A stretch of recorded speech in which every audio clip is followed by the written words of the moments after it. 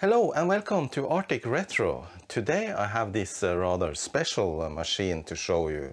It's a Tiki 100.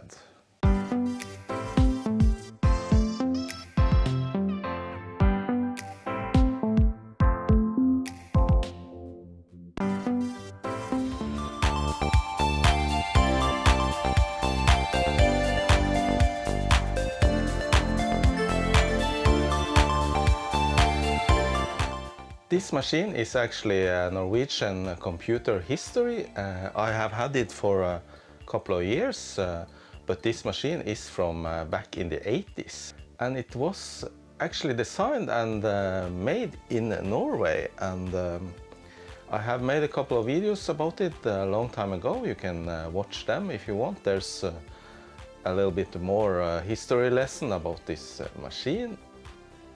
This machine actually has uh, 64 kilobyte of RAM and uh, runs a special type of CP/M on a Z80 processor. As you can see the machine is huge and it uh, weighs a lot too, uh, really heavy. So I'm not really sure if you can call it a microcomputer, but uh, it actually is.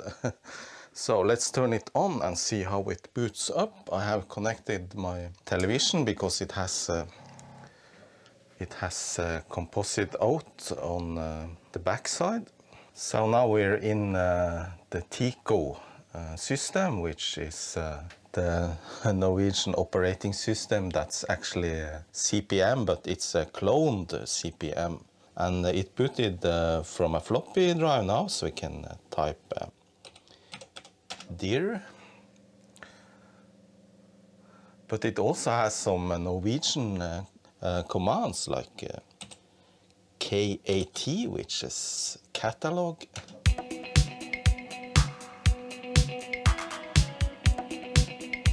Now it's running in uh, 80 columns mode, but if you want to use 40 columns, you can just type 40.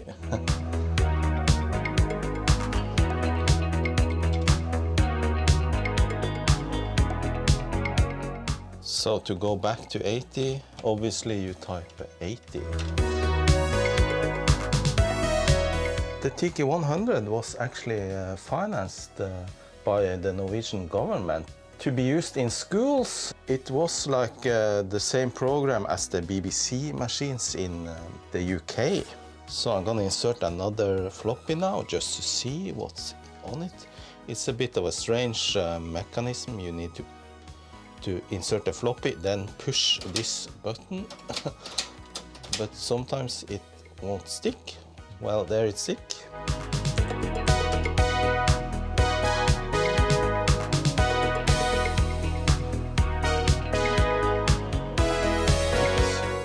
So uh, that uh, floppy might be uh, not working. I'm gonna try and boot uh, into it. Just power cycle uh, the machine.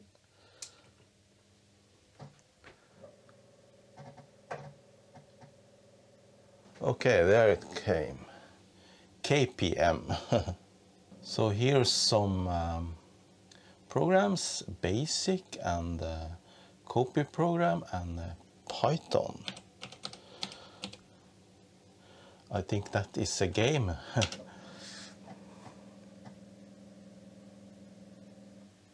All right.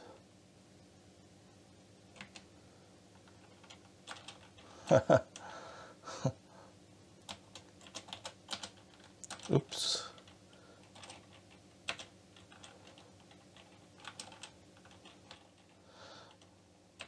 So it's like a snake game.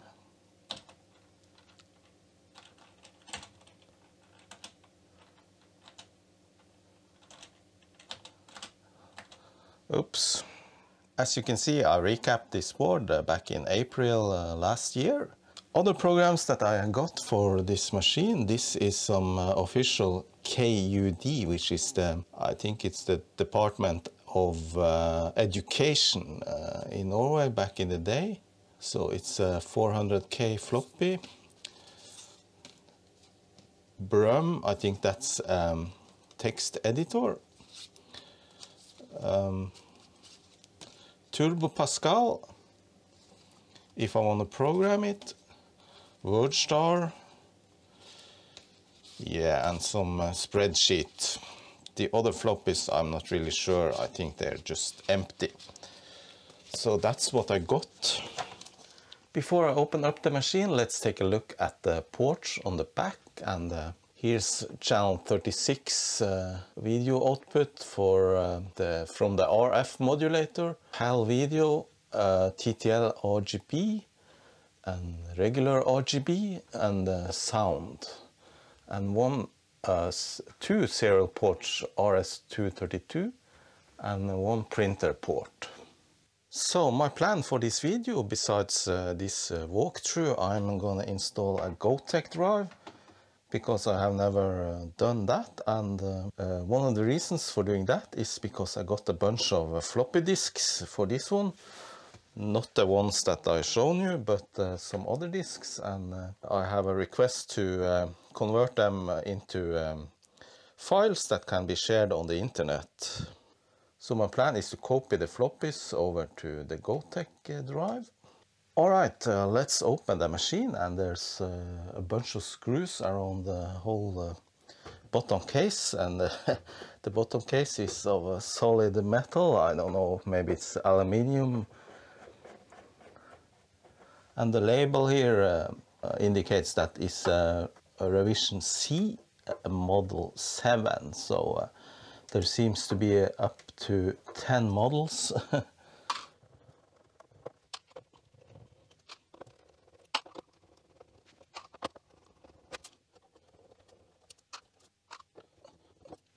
so now I need to turn it around. It's heavy. At least 10 kilograms. So now we can take off uh, case.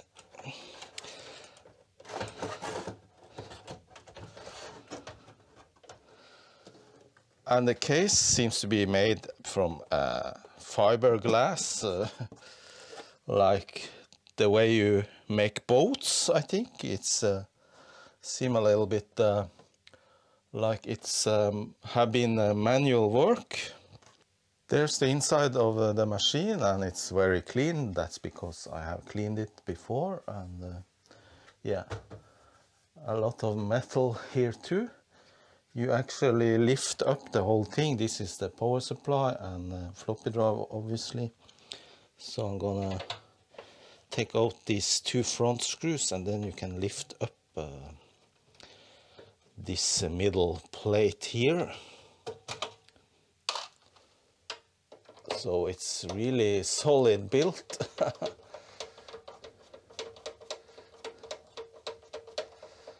uh, actually not many had these computers uh, at home before. Uh, as I said, this was uh, rolled out in schools and uh, I guess every school had one because even my small school with only 100 uh, pupils were equipped with a couple of these. However, I just finished school uh, the year before they got these machines, so I never had any computer on the school, but I had a computer at home instead. Alright, so that's the motherboard and you can see it's uh, quite uh, huge. And there's a lot of TTL uh, logic for the video circuit. And there's four uh, expansion ports not really sure what uh, this was equipped with, but I know you could get a x86 card, I think, to run uh, MS-DOS on this machine. Alright, so I want to hook up a Gotek uh, floppy emulator and for that I uh, can use this uh, ribbon cable here, but I also want to have uh, the floppy drive connected as well as uh, maybe drive uh, B but for that I need another uh, cable and I actually got this one uh, that I have used before on uh, an Amstrad so I know this can be used here too. It's a little bit uh, tight space between here so Well, I just realized I can't use this uh, cable uh, directly because it uh, only has one of these uh, floppy connectors and uh, the other two are for um, edge connectors so um, I need to add another contact to this one. Uh, sorry, I'm just a little bit confused. it turns out that it is actually this type of edge connector that goes into um, to the floppy but um, I still need to hook up uh, my Gotek so um, I have uh, these connectors I'm gonna add uh, one more so then this connector goes into uh, the main board and uh, this one goes into the original floppy and then I can hook up uh, my Gotek to this one if I add another contact. So let's see if we can make this work. Um, so these um, teeth should uh, punch through the uh, cable and make connections to the leads inside. So um, I guess it's important that it is uh, aligned properly and uh, I try there. And I have this small vise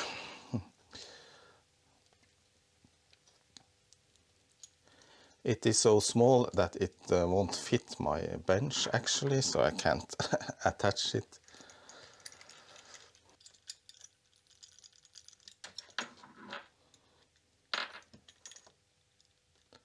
Alright, so hopefully this is working and I didn't damage the cable, but I'm gonna test it. I'm inserting the new contact and then uh, this one goes to, to the floppy drive, so let's see if it still works. Maybe it's a little bit too short. All right, it's in. The machine turned on and the floppy drive was spinning up. Uh, now it says insert a disk and press B.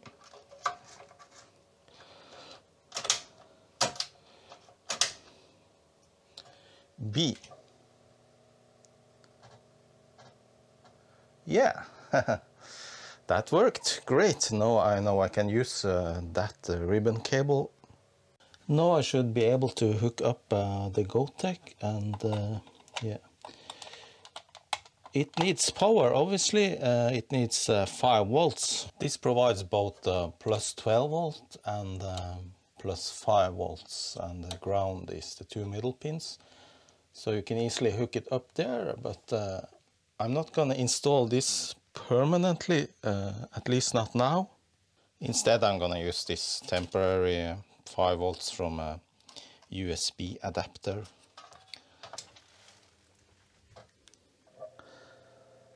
So the Gotek is alive. Actually I um, I haven't prepared uh, the memory stick yet. I only have a couple of uh, MS-DOS images. But let's see if we can shift to B. So it actually tried to uh, access B, but it says uh, wrong plate, uh, gal uh, wrong plate, wrong disk. when it comes to uh, software and uh, resources about the Tiki 100, there isn't really much online, but there's a few pages, Norwegian pages. This one, Sundby System, sundby.com, and you also here he links to uh, Djupdal. Asbjørn and Karstein Djupdal. Here's a list of uh, applications, school applications, uh, CP/M stuff, games, uh, yeah, lots of stuff, system uh, diskettes.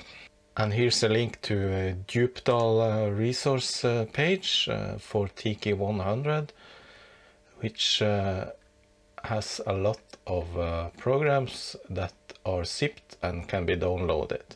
And uh, I have prepared uh, now uh, the Gotek um, drive and uh, I added four DSK files, which is disk images and yeah, it's Invaders, Crossword, MS Copy and Turbo Pascal. So let's see if these work now.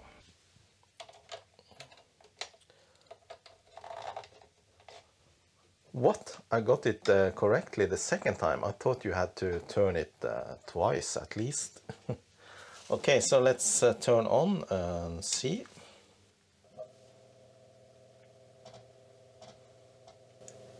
So now it boots into the original floppy. I think you can change that by some jumper settings. Uh, I'm gonna investigate that uh, later. As you can see there is a slight issue with uh, the picture and that is that the first uh, line at least uh, one or two pixels are not visible but I think that's okay. Um, Alright so now let's see if we switch to drive B.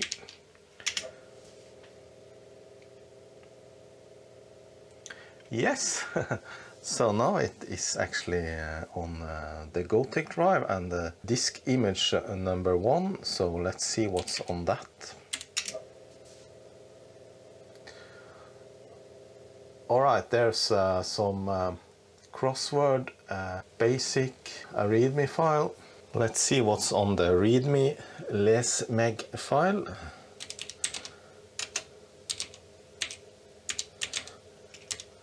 Les meg means read me.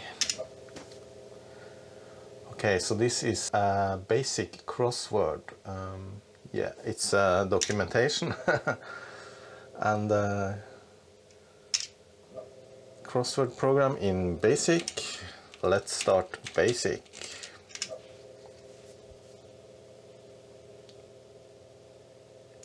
Kontiki basic. Actually, the machine was uh, first called Kontiki, but uh, they got into trouble because of uh, Thor He Heyerdahl had uh, the rights for that name and uh, they changed it to Tiki 100 later. But I don't know how to um, uh, load program. Let's try just load.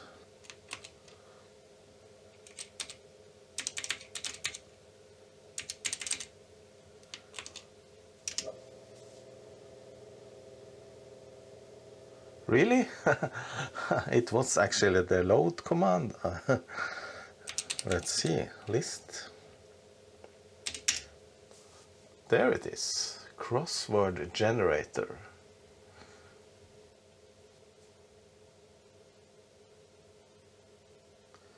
Quite a large program and a real indentation.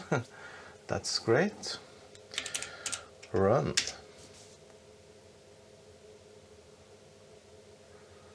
Well, the colors doesn't seem right. so it's a bit gray color. I just adjusted a little bit now. And uh, so I think you can generate a crossword uh, by typing um, some words. I don't know. well, that seems a bit boring. So I'm uh, getting out of this. I have uh, disconnected uh, the original floppy and uh, now see if I can boot into a disk image on the Gotek.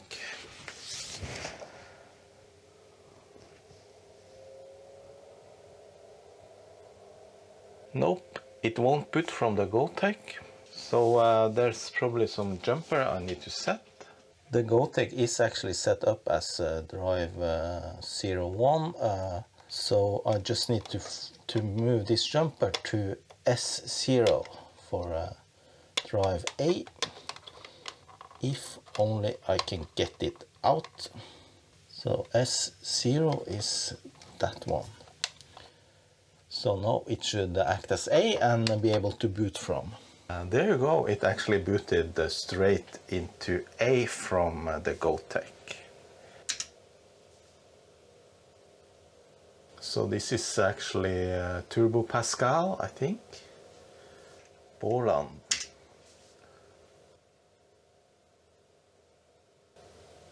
Yeah, Turbo Pascal, copyright 1983-84 by Borland Inc. I actually uh, did program in uh, Turbo Pascal back in the day. The first programming course I attended in the engineering college was in fact uh, programming in Turbo Pascal, but uh, back then it was in uh, MS-DOS. This should be a game, uh, Tiki Invader,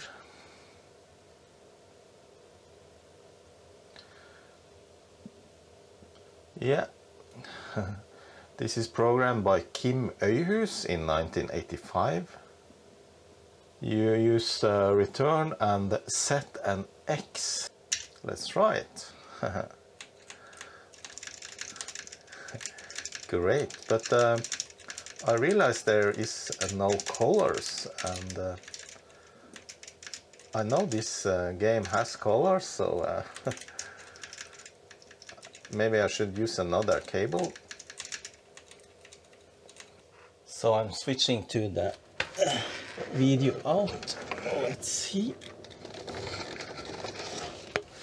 Yeah, there's colors. Nice. But still no sound.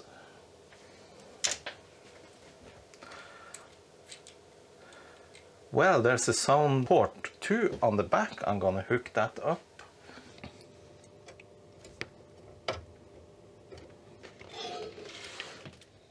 No, still no sound. Yeah, there is sound. was a little low.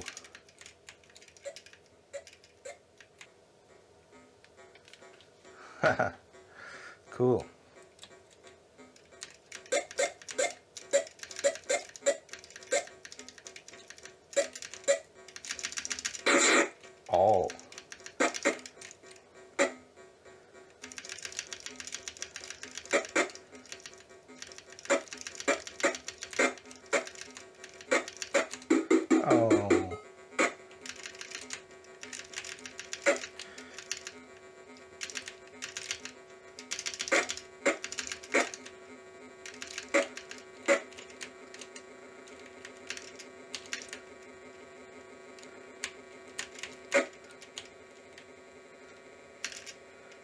Oh man.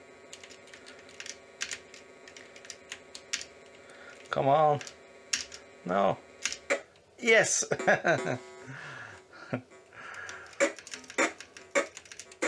anyway, what I'm gonna try to do now is to copy a physical floppy uh, from the disk drive to the Gotek drive.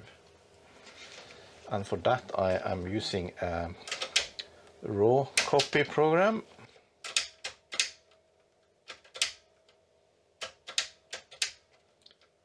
need to take a look at that push button. Onto the Gotek uh, USB drive I only have three uh, images already so uh, I'm gonna overwrite those if it is possible. So let's see. Raw copy. From A to no, I don't want to overwrite the A disk. So I need to find out how to configure this. Alright, so there's some options. You just uh, type uh, raw copy uh, B.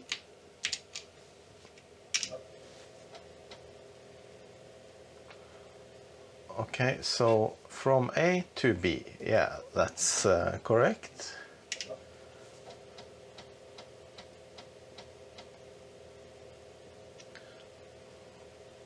Seems to be writing. Promising. It only takes seven uh, tracks at a time, or eight. Zero seven is, is eight. So this is a Norwegian uh, operating system and uh, applications, so uh, the text is Norwegian, uh, obviously.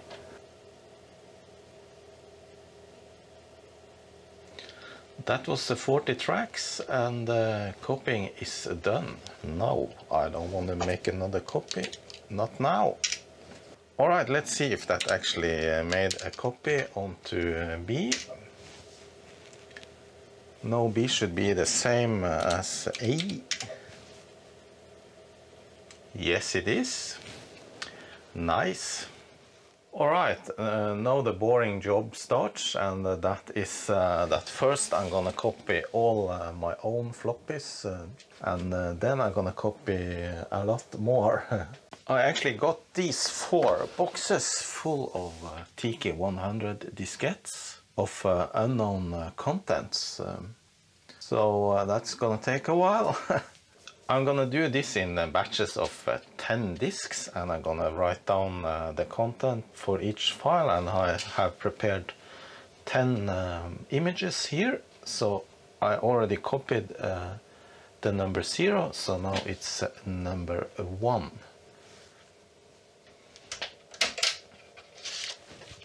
so now I'm gonna copy this one. It's called uh, KUD1 educational software.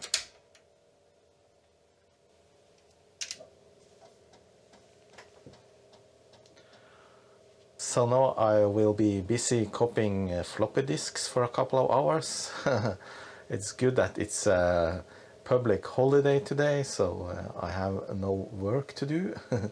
I finished with my own uh, disks and uh, there were no read errors. However, I have started now on the disks in the boxes and um, this far every floppy has a read error so um, that's not a good sign. Let's see this one. However the copy program just continues and um, yeah I'm not really sure how um, that will turn out on the disk image on the USB stick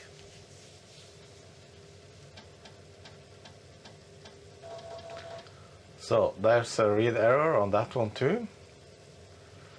And it asks if I want to continue and I uh, just say yes and uh, it actually does continue but I'm not really sure that uh, these disks are okay. Maybe the copy program just uh, writes uh, a blank uh, track when a read error occurs. I actually do have a spare floppy drive for the Tiki and I am thinking maybe I should try this one, see if I get a better result uh, with regards to the uh, read errors. Uh, however, I'm just gonna open it up and clean the, uh, the read write head. This drive uh, actually looks to be in uh, good condition, so um, yeah, not much dirt or anything.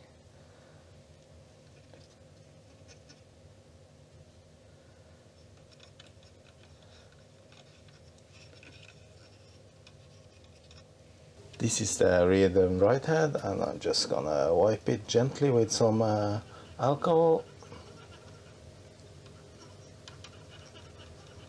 Then I use a dry cotton swab to uh, wipe off.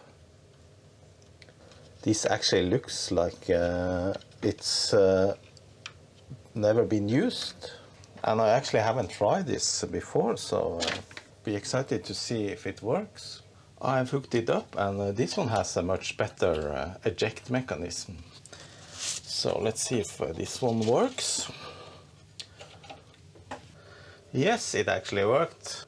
However, the connector is uh, the opposite uh, direction than the other uh, disc, so so much for standards.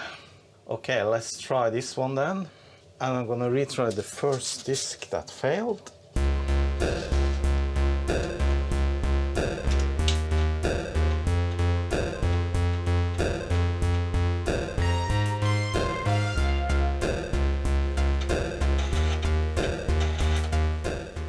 It seemed to be struggling a bit, but it uh, did not report an error, so uh, seems to be better. Yes, the whole disk was uh, read without error, so uh, that's a good thing. Phew, inserting the final disk uh, after copying uh, 70 floppies, I think I used at least two straight hours. this Oops, this reminds me of uh, back in the day when I had the Commodore 64 and uh, swapped disk with friends. There haven't been a lot of uh, games on these floppies, uh, mostly business software and uh, programming uh, utilities. So I have made a catalog of all the floppies and the cross indicates read error. However, the copy program just continues, so I'm not really sure if that's a real error and as you can see on this box there were only three floppies with read errors however on box number three Uh, there's only four of uh, the 13, the 14 uh, floppies was copied without read error. Anyway, the ones with the error I will retry a couple of times and maybe try some uh, dirty tricks to clean the disk. Alright, so I'm just testing out some of the software that I copied running from the Gotek and this is uh, SuperCalc 2.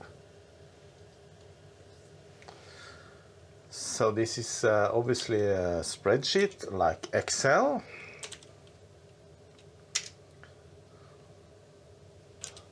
So let's see if we can uh, calculate something if it is uh, like Excel. So let's enter sum.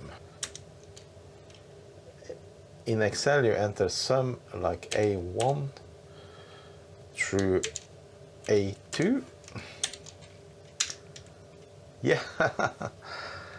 All right, so uh, that's how you sum in SuperCalc, which I have never used before. What about this one? It's called ARK.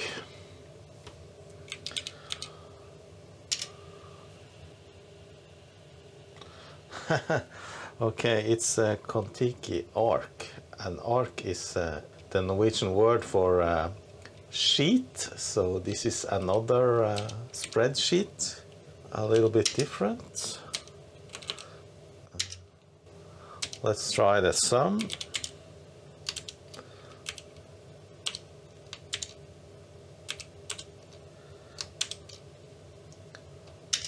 Yes, it is the same. What about this one? Streken.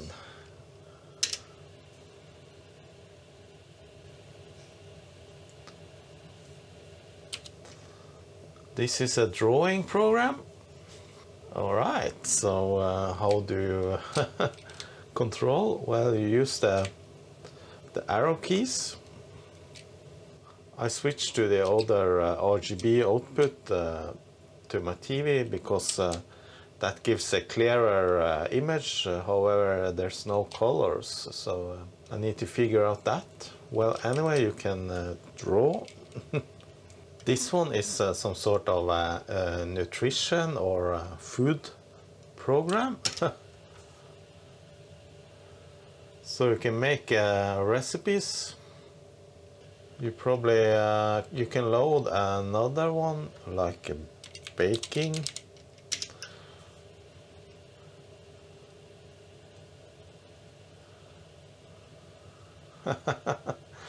All right, so this these are recipes for uh, baking stuff. All right, so this is the prices. I guess these are uh, prices from 1983 or something like that. totally 2.34 kroner, which is uh, 0.2 $23 and then you can see like the nutrition of a recipe for many for how many persons let's say two. And uh, they are all men and the age is from uh, 22 to 50 all right there's a graph. so it's divided into proteins and calories and iron and uh, yeah different things vitamins and this is of course a basic program and here's the listing. Alright, that was the converting of uh, the floppies. I'm, uh, I'm gonna go through the ones with read errors a couple of more times later, but um, for now I'm thinking about uh, finishing this video. Uh, I was uh, actually planning on uh, installing this second floppy drive on this side because uh, that is supported. Uh, there are uh, screw holes and uh, yeah, but um, unfortunately I am um, missing the correct uh, cable for uh, the power. Instead I'm gonna take out this one and replace it with this better working one. To remove the floppy drive I need to Uh, remove these two screws again and uh, lift up uh, this uh, metal plate. And then we have four screws under here.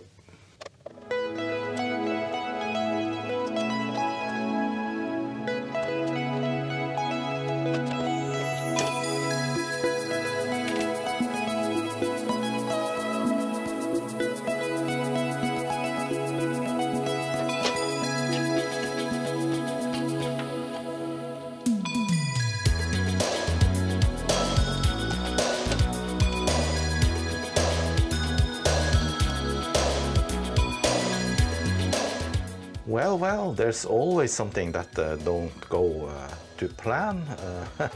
The power cable here is actually too short for this drive because it has uh, the contact on this side while this uh, drive has it more in the middle.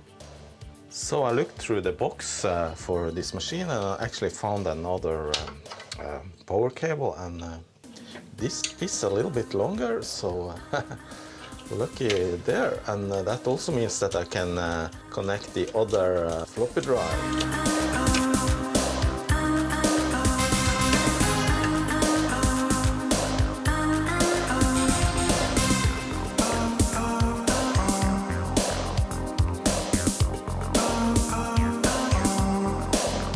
All right, the next uh, issue. Uh, the floppy cable is just too short. It needs to go over here and uh, well, it can't. So I need to lengthen it and I can just use uh, maybe this one to um, make an extension and uh, use a little uh, pin header to do that. Not the best solution, but I think that should work.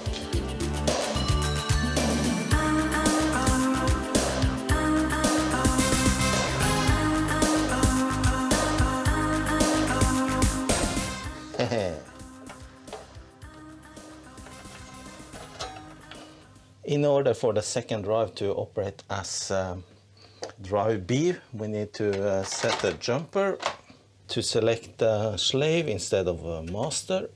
So just move this um, jumper uh, to the middle pin.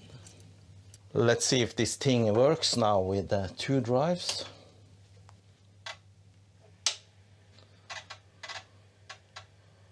Yep. Then I'm gonna insert the floppy in the other one. And switch to B.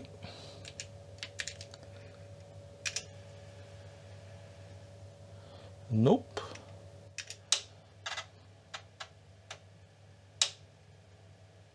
Well, well, it seems I missed one pin in my uh, connector here.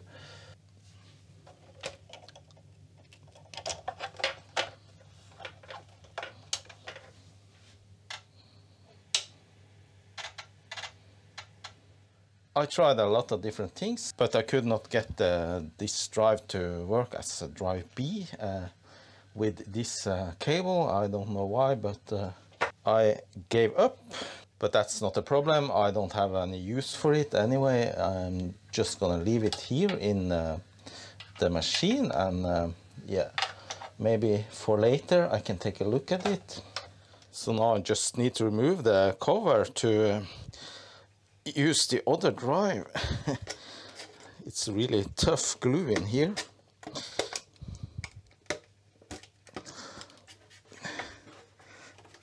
Choo.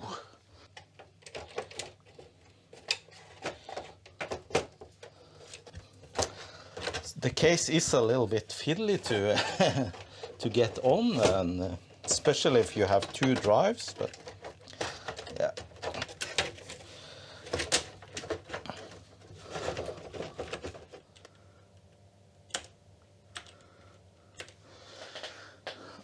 right, I have uh, assembled the machine and uh, it works uh, great, so I'm pretty pleased with that. Uh, anyway, that was it for this video. Uh, great machine and Norwegian computer history.